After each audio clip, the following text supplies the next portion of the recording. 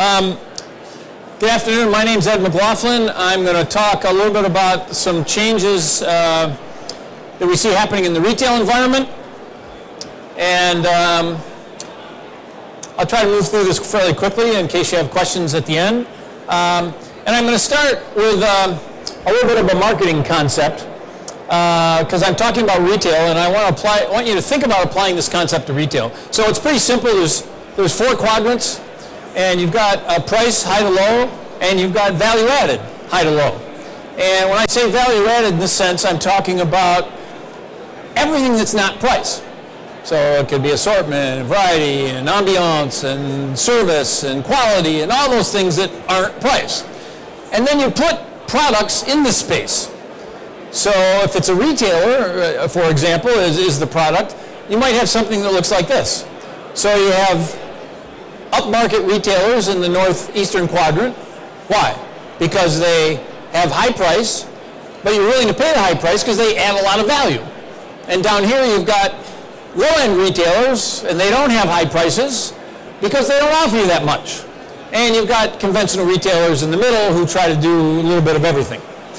So if you tried to place some retailers in your market into this perceptual space, and I've just picked some at random that are national, nationally known, it might look something like this.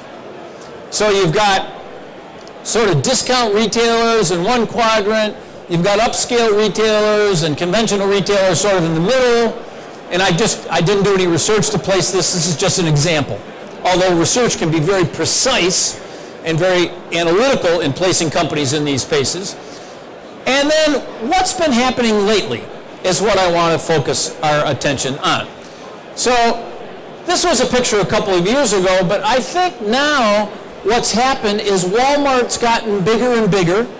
It became the largest company in the world, not the largest retailer, the largest company in the world in about 2003 or 4, and has been increasing the gap uh, I'll, I'll, talk a little bit about that in a minute.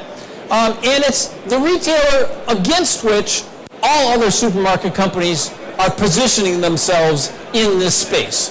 84% of all Americans shop at Walmart at least once a year. Even if they don't want to be Walmart, they can't ignore Walmart as a retail competitor. Um, you also see companies like Aldi expanding like crazy and moving a little bit more to the value added area. You see Aldi adding brands and adding services and adding uh, uh, sustainable, organic, value added kinds of products that they certainly didn't carry uh, 10 years ago.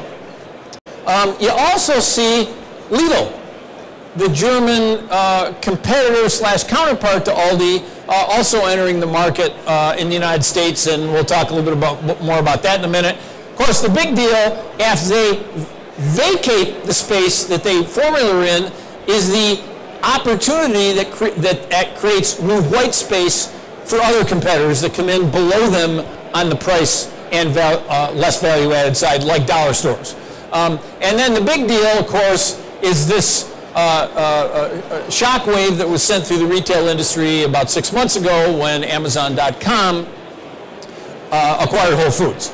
So let's start and talk about each of those three disruptions, if you will. Discounters, continued dominance of Walmart, and in particular, I want to talk about the implications for the produce industry of those two trends along with the Amazon Whole Foods deal. First of all, we see dollar, uh, uh, discount stores growing in ways that we never expected them to uh, a few years ago.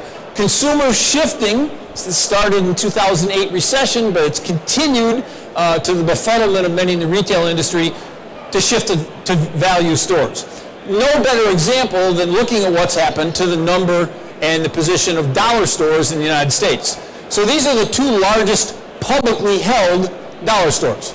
Uh, dollar General, Dollar Tree. Dollar General has got 1,300, uh, uh 13,300 stores. I remember when dollar stores entered the food industry environment in the United States about 25 years ago, and one of my colleagues, Chris Park, is sitting in the back row, and she's smiling because we remember making fun of this new format. Oh, goody, another format. How long is this going to last? About a year? I mean, what can you sell for a dollar?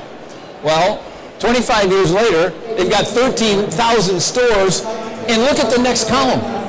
They added 1,000 new stores this year. I mean, do the arithmetic. That's three stores every single day of the year. 1,000 new managers of every store. It's kind of an amazing number. Uh, and Family Dollar uh, that uh, per, uh, that purchased Dollar Tree is uh, Dollar Tree that purchased Family Dollar rather is almost the same story. So um, not only an increase in this very low price oriented store, but you see the format of the store, And remember they started 25 years ago with no uh, food, uh, some uh, uh cheap uh, lawn furniture, uh, party goods, paper products, and now, what happened? Now they're increasingly not only moving into food, that started 20 years ago, but the dollar store started reasoning like Aldi, who also started with no, with, uh, with no fresh food. They said, well, we got all these uh, uh, uh, consumers, ladies, right here in the front row. We don't want you to stand. Come on. Um, we, uh, they, they said, well, we've already got these captive customers in the store. Let's, and we already know they're buying canned food. Let's add a little fresh food. Let's add some freezers. Let's add some coolers. In uh, 2017, 1,000, uh, uh, one third of the, the 1,000 new stores have fresh produce. They're starting to advertise fresh produce in dollar stores. Um, the USA came to the United States 45 years ago, 600 products, no fresh food. Now, they're, and retailers laughed at them. What do you mean no fresh food? Americans aren't going to buy this concept. No brands, no, no, no scanning, no bathrooms, no Coca-Cola. This can't work in the United States of America. Now they've got uh, $14 billion in sales uh, in the United States uh, alone. This clicker is. Um, oh. Okay.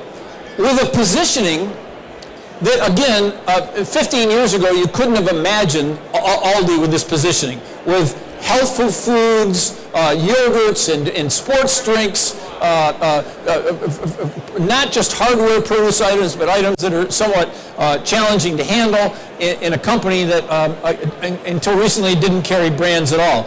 I love this quote from their CEO. Remember, this is a hard discount company. We're growing at a time when other retailers are struggling. We're giving our customers what they want, more organic produce, antibiotic-free meats, fresh, healthier options across the store, all at unmatched prices up to 50% lower than traditional grocery stores. I mean, that's an incredible business model if they can deliver uh, on, on that promise. Um, this is their growth. So they've got about uh, uh, 1,300 stores today. They're projected in the next next couple of years to go to uh, 2,500 stores. That's 900 new stores in four years. If they achieve that, and by the way, not only are they on target to achieve that, they're a little bit ahead of their, of their projections. They'll be the third largest supermarket in the United States in terms of store numbers. Um, Chris, once again, was here when I took these photos in Australia if you want to see a glimpse of what Aldi could become in the United States, take a look at their test marketing uh, in their newest market, which, which, is very isolated from the rest of the world, so it's a perfectly uh, uh isolated, segregated test market, what they're doing in Australia. Um, beautiful signage, uh, cr uh, creative, sort of quirky signage, a wine department in Aldi, wines even a wine snob would love, switch and save. So Wald, uh, Aldi never carried branded products before. What are they doing now? They started in Australia, but they're doing it in all their new U.S. stores with this new generation of stores we're talking about. They started carrying brands. Because they want to sell a lot of brands? No. Because they want to show you that Coca-Cola is $1.99 for two liters, and they've got two little facings of it, and right next to it they've got Aldi brand cola for 69 cents and those are the real prices. you say, whoa, Coke 199, Aldi generic cola 69 cents. Can I really tell the difference? And then they do that with all of the leading brands in the national brand category. So only Crest toothpaste, only Coca-Cola, only uh, uh, Huggies uh, diapers and so on. And by the way, there's the Coca-Cola right there at the checkout. And lots of other things that you couldn't that are, that are on trend in terms of consumer interest these days. Um, uh, no artificial colors, gluten-free, all sorts of traceability uh, things that you couldn't have imagined in a store like Aldi even two or three years ago, say nothing about five or ten. Um, and I'm sorry she's not here, but one of our students who's at this show is uh, uh, standing right there. This is the produce department. I mean, beautiful value-added products that are branded in Australia, a wood-paneled shelving, incredibly fresh uh, herbs. One of our students is holding those these peppers. Aldi had a a, a, history of carrying products in the produce area that were small, uh, sometimes number two, a little misshapen, not the highest quality. These are incredible uh, quality products. And uh, this is one of their newest stores in the U.S. Uh, with the same kinds of things. You see some, you see some um, Ready Pac uh, bistro bowls that are fairly high value in most conventional stores. See Driscoll raspberries, uh, Chiquita bananas, Chiquita organic bananas in Aldi uh, at the same price that some of the local, but it's still Aldi. It's, it's kind of kind of a little dirty in the floors and, and out of stock in a few areas. So it, they're still a discount store, but a discount store with a different flavor. They compete in Europe head to head in all the major markets with Lidl. Lidl's uh, uh, format of one of the biggest supermarket companies in the world. Here's a, a store, a, a, market we just visited a few months ago in the Netherlands, and Lidl and Aldi are right next to each other, sharing the same parking lot. They do that all over Europe. Um, they're coming to the United States. Uh, they've got about uh, 25 stores open now on the east coast of the United States. They say they're going to have about 100 stores by the end of this year. Uh, just in the last couple of weeks, They've discontinued uh, some of the sites in a few states like New Jersey and Pennsylvania, indicating that maybe they're having a little bit of trouble uh, uh, customizing to the U.S. market. Uh, that shouldn't surprise us. It's a brand new market for them. Lidl is not a public company. Lidl can stay here as long as they want. It's not like Fresh and Easy with Tesco, whose shareholders were saying, you guys are bleeding money, you got to pull out of this and it's going to affect our stock price. Lidl family can stay here as long as they want until they get it right, and I, I, I think they probably will. Um, I neglected to mention, well, I won't even mention it. Um, here you see uh, one of the stores in Holland, and they're doing this in the United States, uh, Scratch Bakery, uh, in the store of a hard discount operation, highest quality fruits and vegetables, this sign says in Dutch, uh, in the country, rainforest bananas. Again, not the kinds of attributes you expect to find in products of a discount uh, supermarket.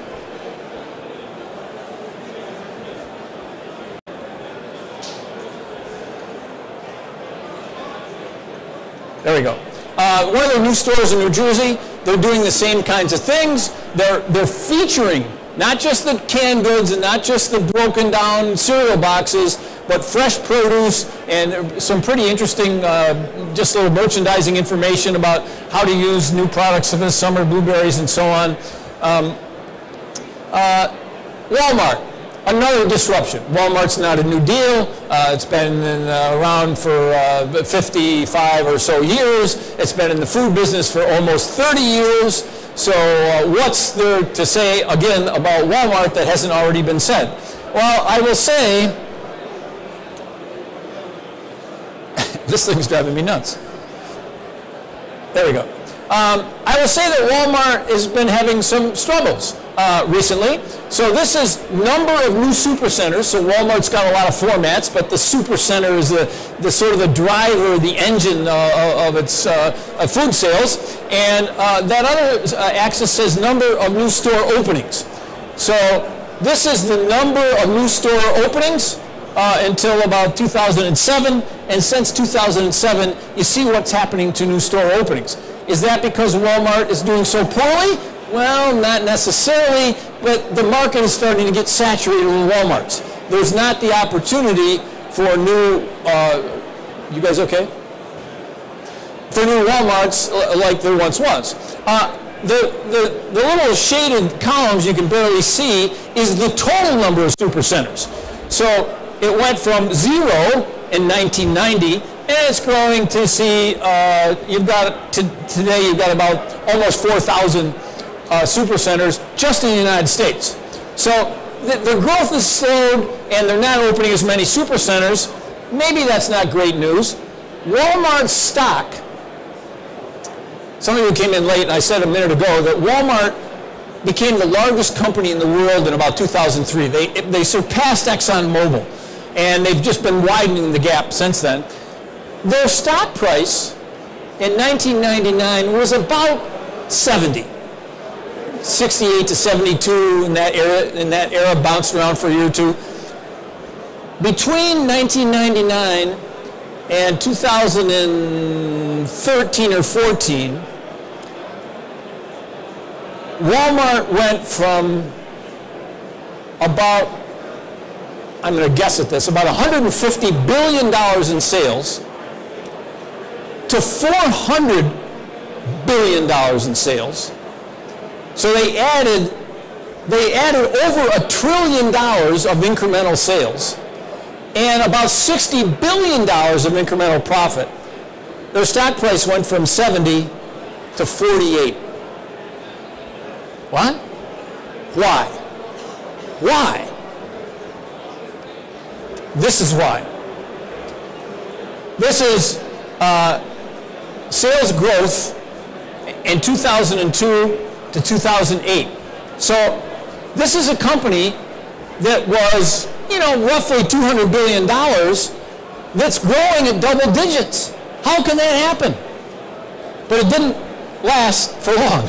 And by the way, in the 90s, they were growing, they were growing in the 20s. They, they were growing by 30 and 40% a year, even though they're a $100 billion company. Kind of an amazing story. But that slowed, that slowed down in recent years, and stockholders became to expect this kind of double-digit growth. So even though they were growing sales larger than any other company in the world, they were actually losing value, losing capitalization, and certainly losing uh, a lot of stock price. Um, now, that's sort of the bad news.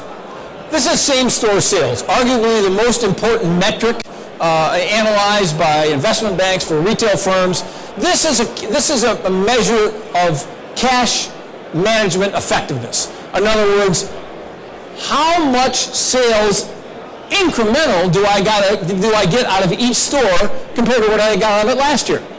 And it'd be nice if that was a positive number. In other words, with the same asset base, I'm getting more profit and more sales than I was a year ago.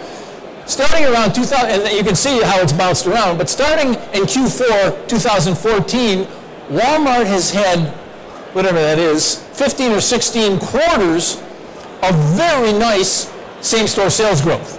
And uh, in particular, if a retailer hits 1%, they're doing pretty well. Most retailers are happy with that. In the last six or eight quarters, Walmart uh, has been well above that. In fact, the, the they just reported a couple of weeks ago, they're 2.6%. So they're moving into an era where their same-store sales is really doing pretty well.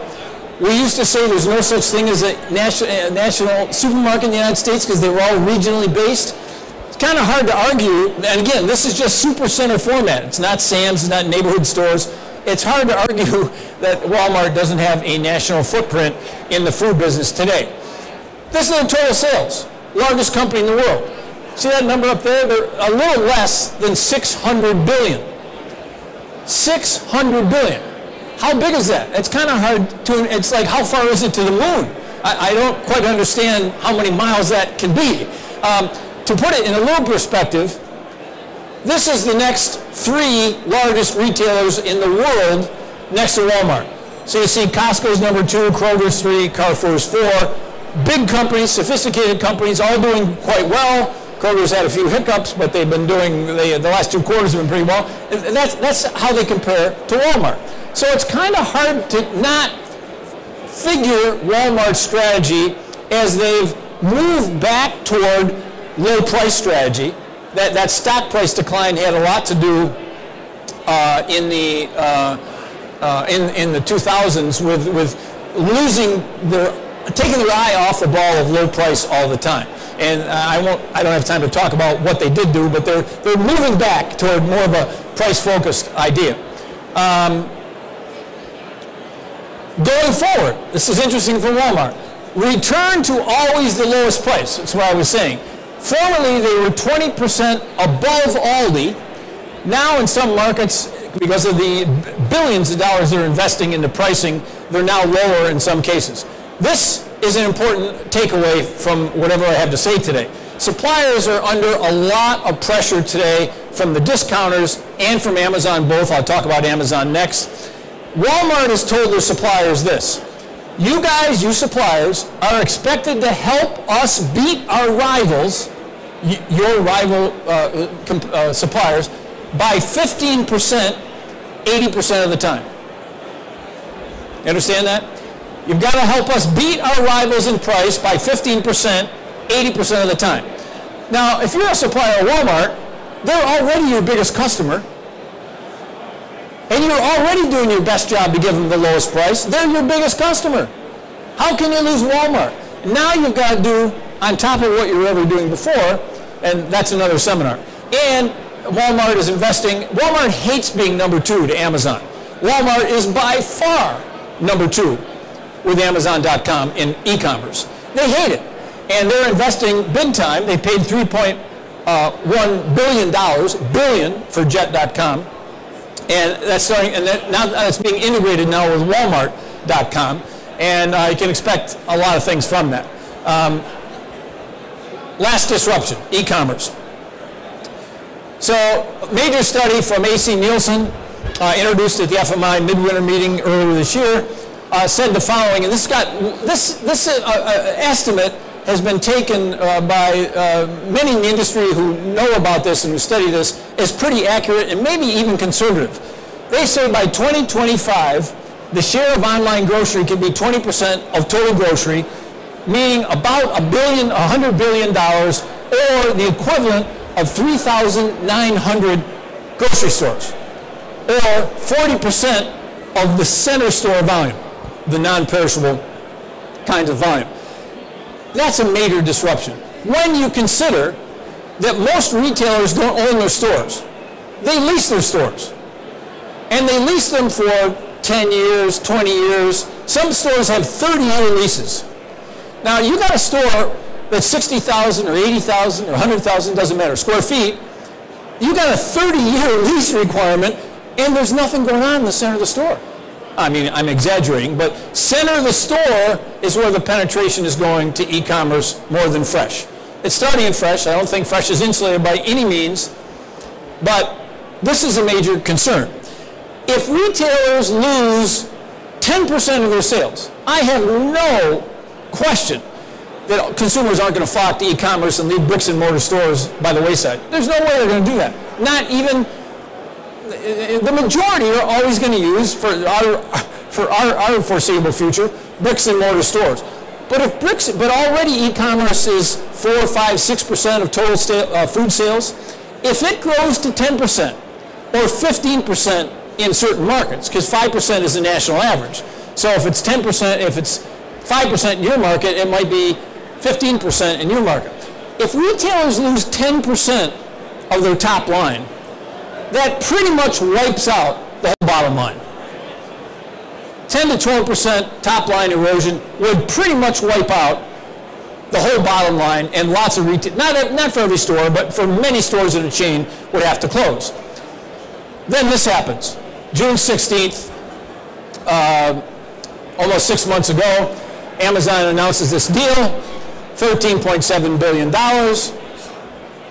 Uh, they buy Whole Foods. Uh, and this is the background. So we said supermarkets are being assaulted by discount stores. That means Walmart and dollar stores and all the rest. Uh, national brands losing share all over the country to private label. I can show you those trends, but take my word for it. Whole food sales health is questionable. I'll show you that in just a minute. Whole Foods was thrown a very important lifeline by Amazon. Uh, they needed it big time. their stock price was declining, uh, same-store sales were a, a, nightmare, and they had some active uh, investors uh, in their hedge funds calling for major changes uh, in, in, uh, in Whole Foods. And this is what the stock performance looked like. So the top performance is Amazon. So you see about five years ago, Amazon stock price was about 200. Uh, I just checked before we came in here this, uh, today, about 11.30 today. Any, anybody know what Amazon stock price is? So this is, this is halfway through 2017. It was about 1,000.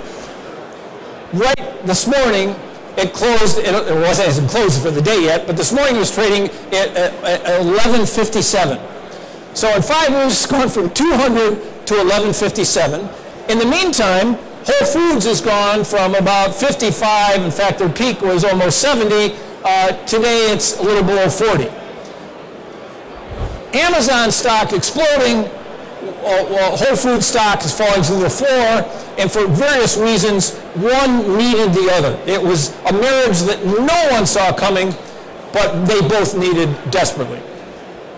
Amazon, sales 136B, is the global innovation machine that you know, uh, focusing on technology, uh, uh, pricing, to pricing uh, to the bottom like there's no tomorrow. And here's the thing behind the deal the largest single sector, economic sector, in almost any developed country is the food business. Uh, in the United States, it's about a trillion, it's a little over a trillion. Add supermarkets and food service together. Amazon wasn't in that sector. They were in all the other sectors of the economy except that they had to be in that sector. So they started with Amazon Fresh, and I'll talk just a little bit about that. But they hadn't really penetrated the food business, and they knew they needed to. Um, this is not going to be easy for Amazon, by the way. Uh, if, if they change Whole Foods that was hurting to death too much, then they ruin the good part of what everyone loved about Whole Foods or Whole Paycheck. If they don't change enough about to Whole Foods, then they don't fix all the efficiencies that were causing the poor performance. So it's going to be a little bit of a high wire act for Amazon.com. Think about the innovations introduced by this company, by Amazon, in the last 15 years. So about 15 years ago, they said, hey, we're pretty good at selling books uh, online, but how about food? It's the biggest sector in the economy. After all, we, we should try it. So they started selling dry stuff online. And it, started growing. it didn't, uh, it didn't uh, uh, erupt overnight. But they know how to ship cardboard boxes of Cheerios the same way they can ship cardboard boxes of books. So they can ship dry groceries around the country, and you understand how that can happen. Um, and then they soon realized if we're going to do that, why don't we introduce an innovation on that called subscribe and save? And this is this didn't grow rapidly in initial years, but what they've been able to do is once you're on Amazon, and you're ordering toothpaste. Amazon's got algorithms that can predict how much and how frequently your family uses toothpaste better than you can. Same with other kinds of hardware goods like shampoo and maybe cereal and sauces and so on. So they tell you, look, you need Colgate toothpaste every six weeks. So don't even worry about it. We'll just send you one every six weeks you sign up for the subscribe and save program. And you can do that now with any product. It's starting to grow rapidly with the new uh, algorithms, especially if you're an Amazon Prime member. I'll talk about that in a minute. They then introduced, yeah, but groceries maybe isn't the place where consumers want to be. We want to be in fresh food. So four or five years ago, they introduced, without much fanfare, Amazon Fresh. And the idea was you can go on, you can, you can purchase uh, uh, fresh fruits and vegetables, and uh, uh you know, they offer blueberries and raspberries and so on. You say, wait a minute, am I going to buy raspberries online? Are you kidding? Well, they have the quality chart in radishes. So they say, our produce specialists have high standards. They take seriously responsibility rating fruits and vegetables you'll be feeding your family. Each day, they carefully review and rate each item. Ratings are refreshed every afternoon to give you a blah, blah, blah. So your product can be five, a five radish deal, never better, makes our produce specialists say wow. Or you can be only four radishes. above average, looks and tastes great. Three radishes and so on, down to one radish, not impressive, but available in case you need it. So here we have some three radish deals. Okay. Then you see some other products, organic strawberries. Over there you see peaches. One radish. Maybe they're making peach pies. I don't know what they're doing, but so but you gotta you gotta give them credit for transparency. And look, they said the peaches aren't very good, so it's your fault if you want to buy them. I mean, they're, they're honest about that. Thing I love, another thing I love about this, you search for you search for berries the way I did in this thing, and you get all these other berry products, including Chuck Berry. Okay.